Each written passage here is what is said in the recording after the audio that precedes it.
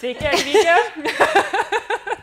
šiandien aš esu kitam ampluo su Egle Balčiūnaitė, bėgikė, bet šiandien esu vedėja. Ir šiandien mes turime nuostabęs, nuostabų svečią, Vitenę. Bet irgi kitam ampluo. Aš jau pradedu nerimauti, kad neteksiu darbo ir savo kėdės. Ne, ne, ne, viskas normaliai. Taigi, Vitenė, um, tu visą laiką, tu esi sportininkė, tu esi trenerė, tu esi laidų vedienas, mes girdėjom, ten buvo diskusija, kad tu negalėtum pasivadinti, nes aš manau, kad... Manau, kad būtų nekuklu tai pasivadinti. Nu, gerai, okei, okay, vis tiek, vedi laidas yra, yra fain, ar ne? Taip. Toliau, ką dar darai? Um, myliu gyvūnus. Labai. Okay, gyvūnų mylėtoja. tai čia šitą gal net kelčiau į patį. okay. uh, prieš kelis metus uh, Netgi teko tokia nauja patirtis e, pasifotografuoti e, sportiniais rūbais truputį pabūti. Aha. Tai va teko ir prieš abie objektyvą pabūti, dar tokią veiklą kart, mm. karts nuo karto mm -hmm. turiu. Ir e, daugiau ką. Nieko, žinok, viskas aplink tinklinį sukas. Daugumoje. Vis, vis tiek sukasi viskas aplink sportą. Net, tai netgi, jeigu mes pasakysim, kad laidų vedėja, tu vis tiek kalbini sportininkus, su Taip. sportu susijusius žmonės, ar ne? Ir visur vis yra, yra sportas. Taip. Turiu klausimą. Ar mėgaujasi tuo? E, labai. Aš manau, kad jeigu nesimėgaučiau, tai aš turėčiau kažkokių daugiau pašalinių dalykų. Aha. Bet šiaip jo, nerealiai mėgaujuos labai uh, smagu, kad esu savo rogėse ir nenoriu, aišku, draugų žaisti ar dar kažko, bet kartais būna labai gera kompanijai pasišnekėjus, mhm. žinai, i, išgirsti tų oficinių, žinai, tokių žmonių taip, taip. pasakojimus ir, ir tu girdi ir jie prisipažįsta, kad jie nemėgsta ir jie nesijaučia savęs atradę. Mhm Tai man vis dar širdį paglosto, kad, nu, aš tai, nu, savo mm. rogėse, nu, man gera daryti tai, ką darau, tai, va, tom labai džiaugiuosi. Okay. Um, trenerė, būti trenerė.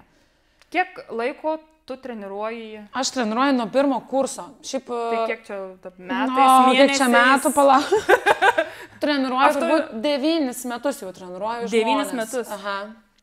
Aš e, nesu, kaip pasakyti, nesu pirmos jaunystės irgi. Tai, nu, tokia, žinai, tu pasisakei, ne, nu, tu pasisakei.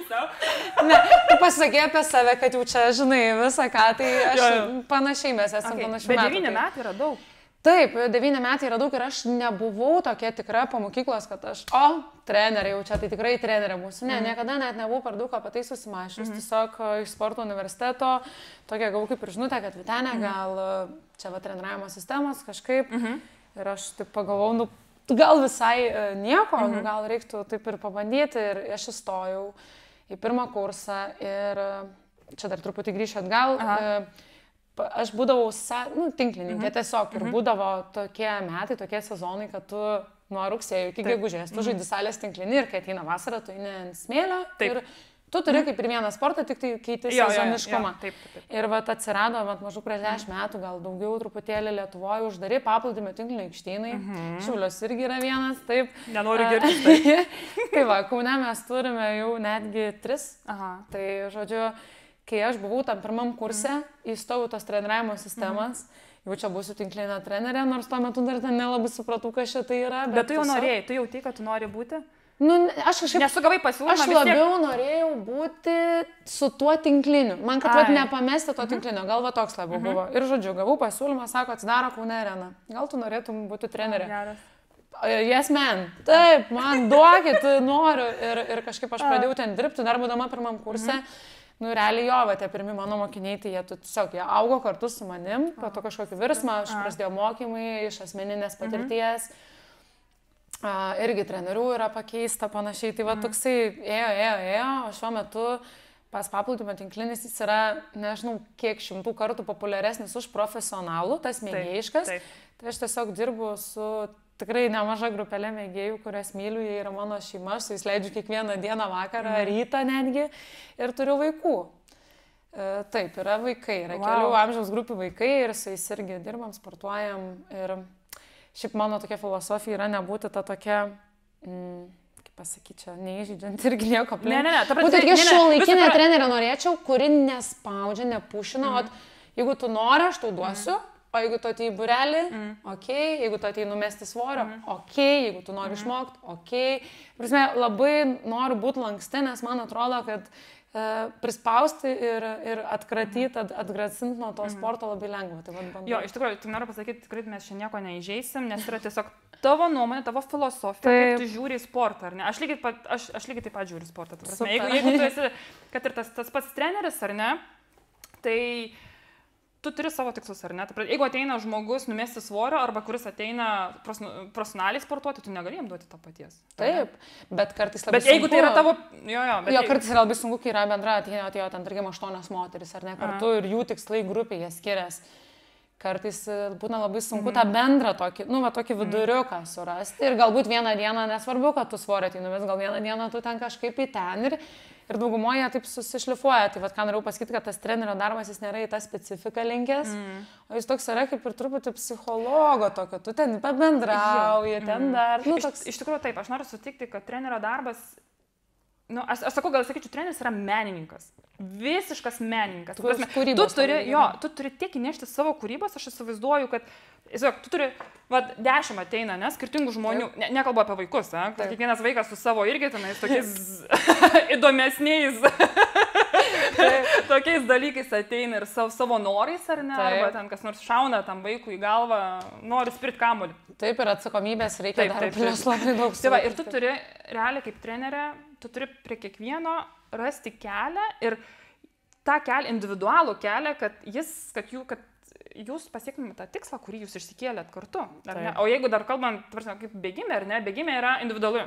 Individuali, ar ne, sporto šaka, ar ne, Taip. va, bėgimas, ar ne, nes aš viena ateinu ir bėgu, ar ne, bet pas tavai yra komanda. Tai man Taip. visą laiką žavėjo treneriai, kurie dirba komandose, nes yra visi skirtingi žmonės su savo skirtingais Ir, su, charakteriais. ir dar jeigu yra moteris, tai dar ir šiaip kiekvieną dieną jos ten yra.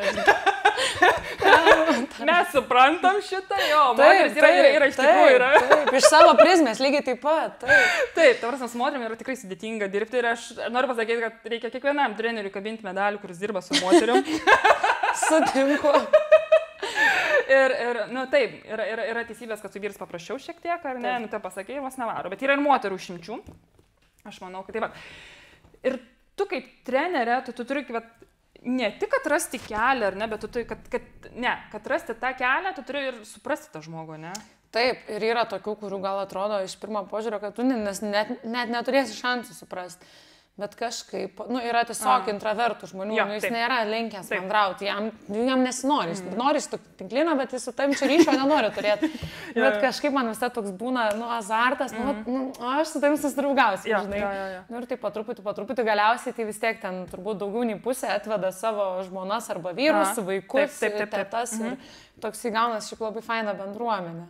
Geras. Nes treneris yra tas, kaip sakant, tas Aš manau, kad e, trenerio pagrindinis tikslas, čia kaip ir, jeigu atsimins, tikrai mokyklai su dalykais tas pats ja. šiaip yra.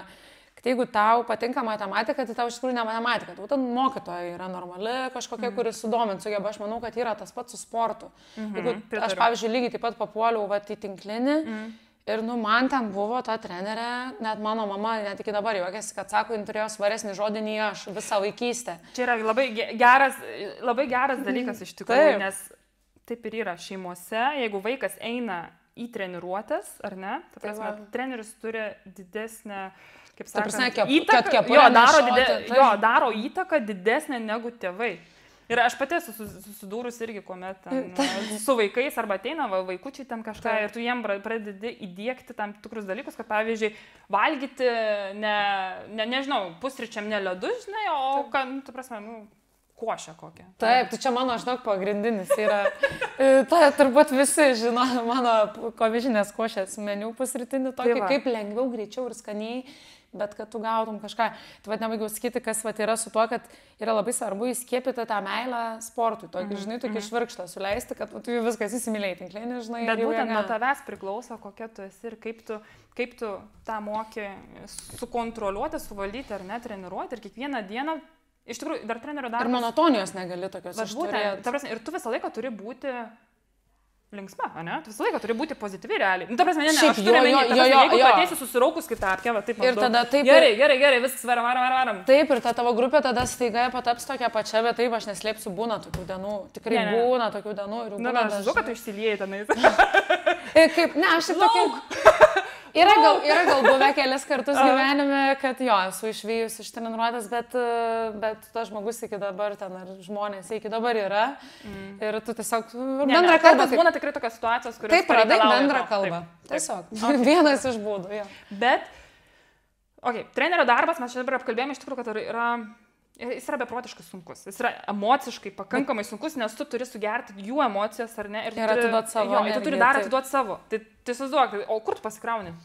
Um, net nežinau, šiaip turbūt sportą gal. Ta prasme, jo, nor- norėjau irgi pasakyti. Jo, nu turbūt, e, nežinau. Toks tenai gaunas, kad tu ir, kad ir tam darbe. Ir Mhm. man, va, ir mano treniruotės, arba tas, kurias vedu treniruotės, jos yra labai panašios, nes aš atiduodu, Mhm. Bet aš tikrai labai daug pasiemu iš tų žmonių, Nu, ypač tu iš kitos teigiamų. pusės. Jo, jo. Jo, ir, ir tam sportą tu kaip ir fiziškai išsikrauni, bet iš tiesų tu pasiemi Mhm. labai daug, tu taip, aš realiai nežinau, minti tu tuo, man atrodo. Na nu, tai va toks, turbūt supranti, Mhm. Jo, manau, kad jo. tas va. O tau nebuvo keista, kai tu pradėjai treniruoti ir tu eini savo treniruotės. Ir tada tu pradedi galbūt netgi teisti trenerę, nes, nes aš tik kitaip daryčiau. E, Gal iš tiesų, nu, va, tai irgi man buvo 19 ten A. metų, tai jo, galbūt buvo, bet aš, kaip pasakyti, nedrįzdavau ten labai garsiai kažkaip pasakyti. Mm. Plus tam paplūdimio tinklinį mes realiai tren, trenerius turim tik per treniruotės, arba, mm -hmm. nu, ten kaune, tarkim, aš neturiu šiuo metu trenerio, aš jeigu einu, tai nu, tiesiog su kokiais nors vyrais Taip. Žaisti ir viskas. Kur mažiau problemų. Jo, bet tai galvoju, galbūt jo, ten ties 19 metų, žinai, šviečias, kad, ai, tu čia nieko nesupranta, bet aš dabar tai žinau.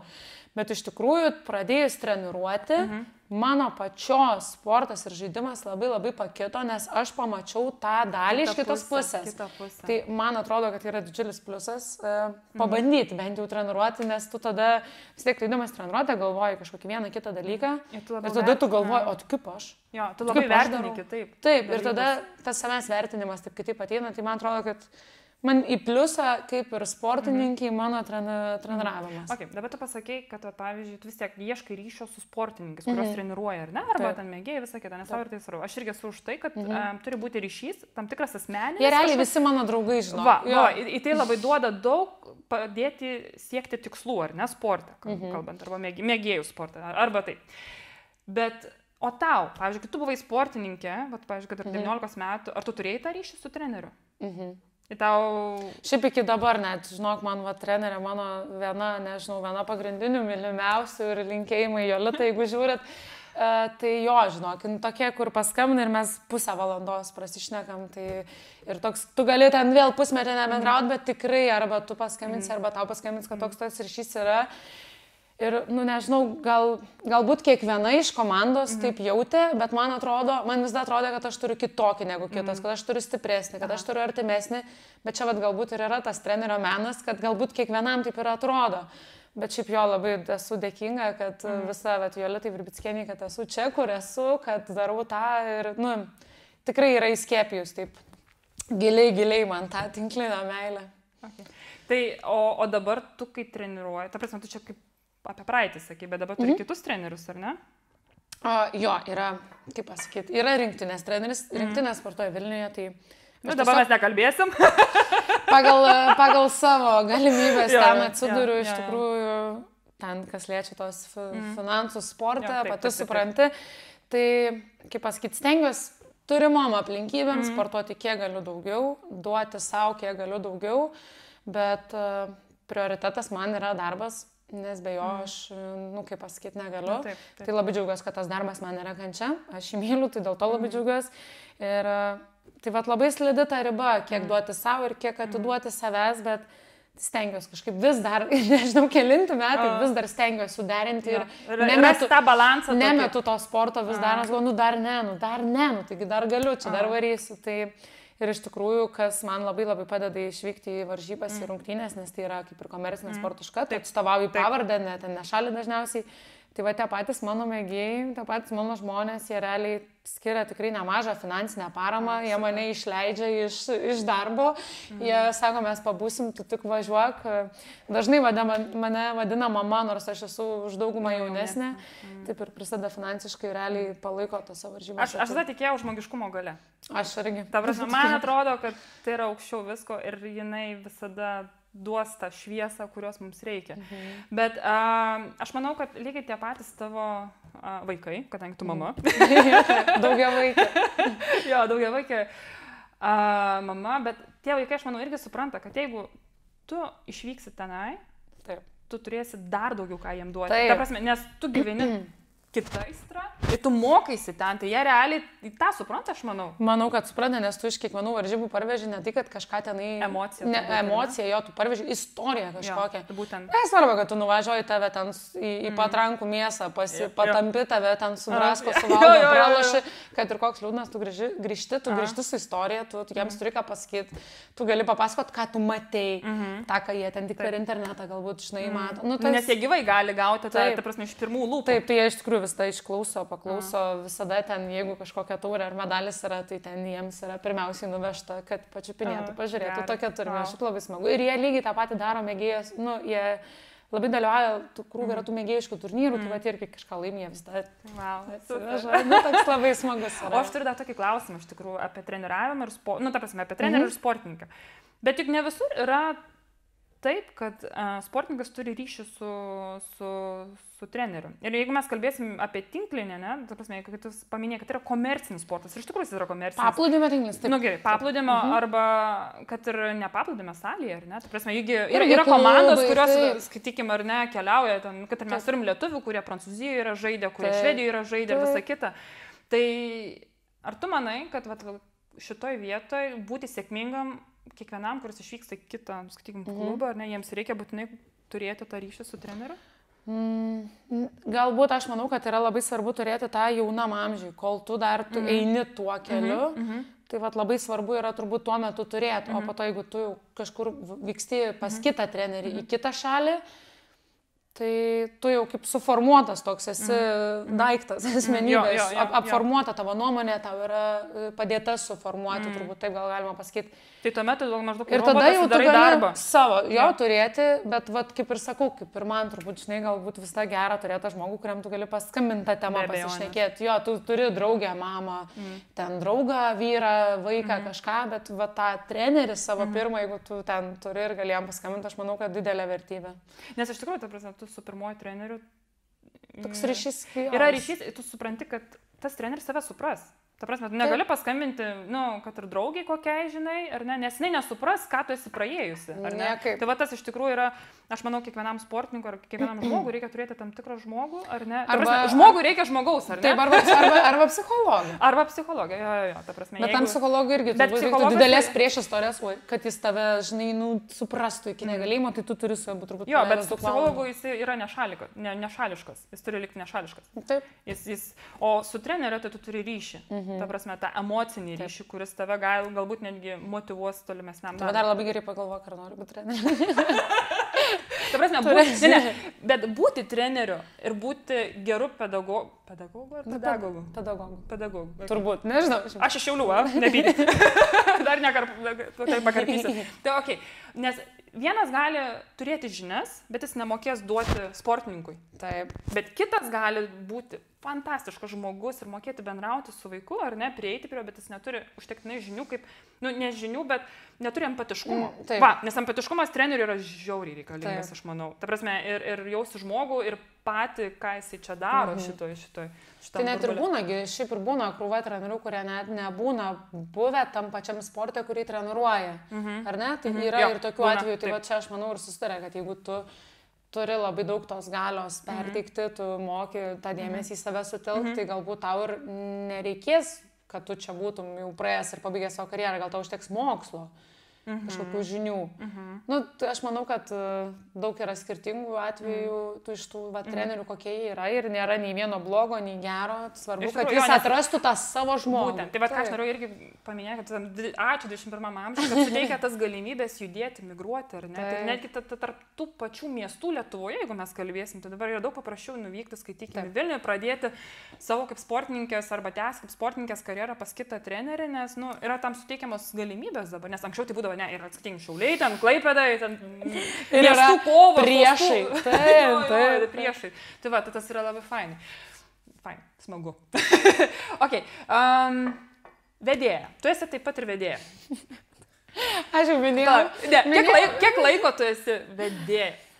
Mm, nu, kiek? Metus? Ne, nėra dar metų. Okay, metai laiko. Nu, nežinau, turėjom, turėjom, žinau, kad jubiliejinį pokalbį buvo dešimtas, nu tai dabar kokį kiek, 14? 15, jeigu skaičiuojant. A, jeigu šitą, 16, ne, šitą 16, A, 16. aš 15. Tavo 15. Taip. Uh, tai nežinau, šiaip aš nelaikau savęs vedėjat, toksai, kaip pasakyčiau, net, net, net neatsiminsiu, gal prieš turės, kaip čia tas pasiūlymas toks atsirado, Aha. bet toks tipo jok, joko forma, juokais, juokais. Aha. Be jokių ten Vitenė, tokių- Vitenė Night Show kažkoks ten, sakau, ką? ne. Ir jo, kažkaip tokia buvo pradžia. Šiaip tai, pirmasis epizodas jis net nėra išvykęs dienos šviesos. Nežinau, čia gal paslaptis, bet, nu, tiesiog Tai Mes taip dabar nutraukiam ir parodom jį. Tiesiog, nu, aš nesu vedėja ir ką žinau, aš, aš ir jaudinos, ir aš prieš kiekvieną atrodo jaudinos, nors aš kaip ir niekam nieko neprivalau, nes Aha. tai nėra mano čia sritis. Užtat aš sakau, kad būtų labai gal nekuklu vadintis man tą vedėją.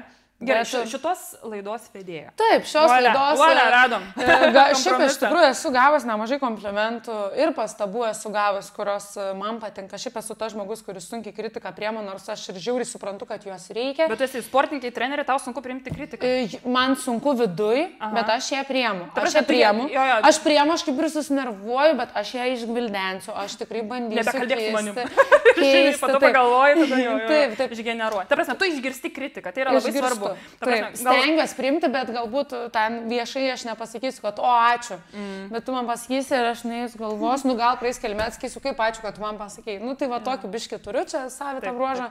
Tai va ir vedu tas laidelės, šiaip labai pakalbinom daug įvairių žmonių, žiūri, džiugiuosi įvairiom pažintim, tai va pavyzdžiui, kad ir su tavim. Nu dabar tiesiog bus fainai sustikti, nors kitą, labas, eglė, žinai. Tai va man smagu plėsti akiratį. Mm. Šiaip nerealiai visokių ten istorijų, wow, išgirdau, kur, e, kur sakiau, kad, okei, okay, aš jaučiausi sportininkė ir po šio pokalbio aš nebesijaučiu tokia. Tai, tai buvo ir tokių, bet. Aha. Tai įdomu. Bet, uh, okei, okay, sėdėti toj vietoje kaip vedėja, tu turi turėti tam tikras savybės, ar ne? Ne, aš manau, aš, aš manau kad, okei, okay, visų pirma, mes pradėsim nuo to, kad uh, tu pati kaip asmenybė, ne tokia esi. Aš manau, kad tavo esi geriau sekęs nei man, žinau. Ne, ne, ne, tu su tokia energija, ta prasme, tu ateini, tu švyti, ta prasme, aš, ne, aš kai atvažiavau, aš mačiau, kad tu išlipai iš mašinos, Aha. žiūriu, okei, okay, tu faina. bus smagu, žinai, bus smagu. Aš mačiau ir kitas laidas, aš Aha. žiūrėjau, buvo ne pirmą kartą, kuomet aš važiuoju iš Vilnius iš Šiaulius ir aš pasileidžiu jūsų. Nu, jūsų kaip ta prasme, iš tikrųjų buvo su kestu, ten ta, ta pati Mhm. laida ir nesu kestučiu. Taip. Ir, ir, ir tas visas, jo, žiūrėjau ir, ir buvo labai įdomu. Tai va, ir aš manau, kad tu turi to šarmo tam tikro. Tai aš manau, žmogus Ačiū. turėdamas um, žinias arba ten mokėdamas kalbėti, bet jeigu jis neturi šarmo, tai bus negyva laida. Tai vad nežinau, kažkaip sakau, man tai taip gal kukuliau norėtų čia reaguoti, nu, tipo, aš jo dėkoju, ačiū už nuomonę, labai smagu. Bet aš, nu, kaip pasakyti, vis dar nesijaučiu čia kažkokia labai charizmatiška, čia tada. Tai Jo, bet, nu, man ir tokio nėra. kalba, o jeigu žmonės kalba, tai jau gali sakyti, okei. Okay. Tai gal, nežinai, gal prisidirbė. Tai... Nu, kad ir tas pats su, vaik, nu, su tavo vaikais, kaip Jo. tu sakai, ar ne, tu bandai rasti kelią.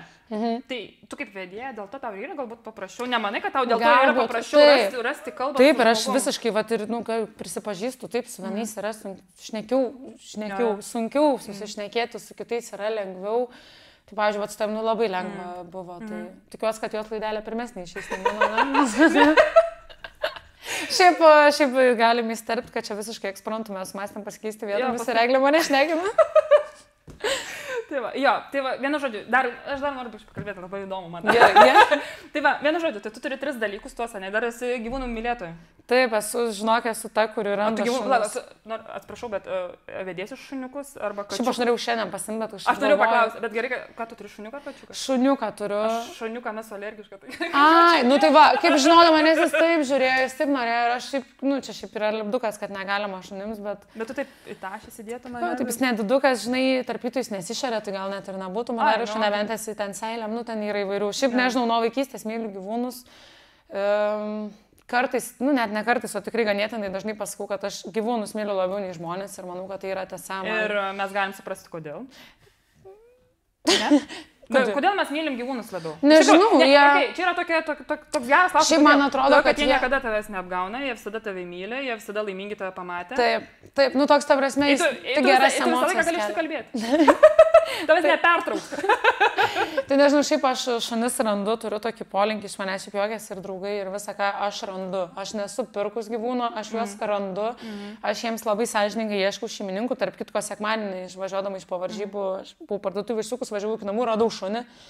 E, suradau ten irgi Facebookas visagalis, aš suradau, kieno jis buvo veislinis ir panašiai, bet wow, aš negaliu aprastys namo, nes ten yra mano šuo, Pas mamą negaliu, nes ten yra kitas mano rastas šuo. Pavydos, pavydos. Ir dar yra katė, kuri ten, nu žodžiu, mano visi gyvūnai aplink yra rasti, šiaip tai labai džiaugiuosi, nes mano aplinkoje labai padaugėjo draugų ir pažįstamų, kurie priglaudžia iš prieglūdų jo. Mm. Tai dar tuo labai džiaugiuosi. Aš kaip tave suprantu, nes aš lygiai tokia, aš skatinus neždavau namo. Nu, tai aš irgi, Jėzus, ten, kol mamos nėra darbė, žinau, kad tarp mokyklos ir trepkės turi pertrauką, tai yra katė kiemė, aš ją parastysiu kažką ir tada turiu išnešti, aišku, nes grįž mama ir ką čia reiks daryti.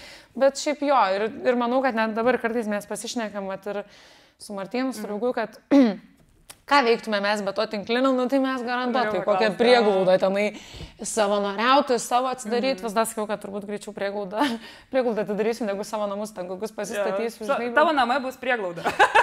ten, ten ir gyventi, ten ir rūpintis visais. Ir jeigu ja. atei žmonės, tu jiem padovanosi, padėsi. Taip, ir dar aikštelė. Šalia. Jo, jo, ir viskas. Jo. Bet uh, Bet, okei, okay, tau patinka gyvūnai ir tu galvoji, kad ateityje galbūt irgi gali būti tam tikra veikla, kuri Šiaip, bus susijusi su gyvūnais. Ne? Aš nemanau, kad tai išeitų galbūt labai finansiškai, žinai, susidėlioti. Nu, mes žinom, kad iš tikrųjų su prieglaudomis yra. Tai va, tai, va, tai aš visada galvoju, kad jeigu aš tikrai turėčiau tiek, kad man mhm. užtektų mhm. pragyvenimui ir aš galėčiau, vis tiek, aišku, aš norėčiau dirbti, man, nu, ne dėl pinigų, mhm. mano darbas yra, tai, bet kažkaip be tos gyvūnus įtarpti žiauriai norėčiau. Mhm. Labai. Okay. Tai jeigu taip rezumė šito pokalbio, aš nežinau, kiek mes jau čia laiko, mes nu, nemažai. Šiaip labai įdomus pokalbis buvo, labai įdomu apie tave. Ta prasme, žmonės, Ačiū. kurie turi va, tiek daug visokios įvairios veiklos, yra labai labai smagu bendrauti. Bet dabar, jeigu mes mėgsim rezumė, bet viską, ką tu darai, tu jautiesi, kad tu viską kontroliuoji?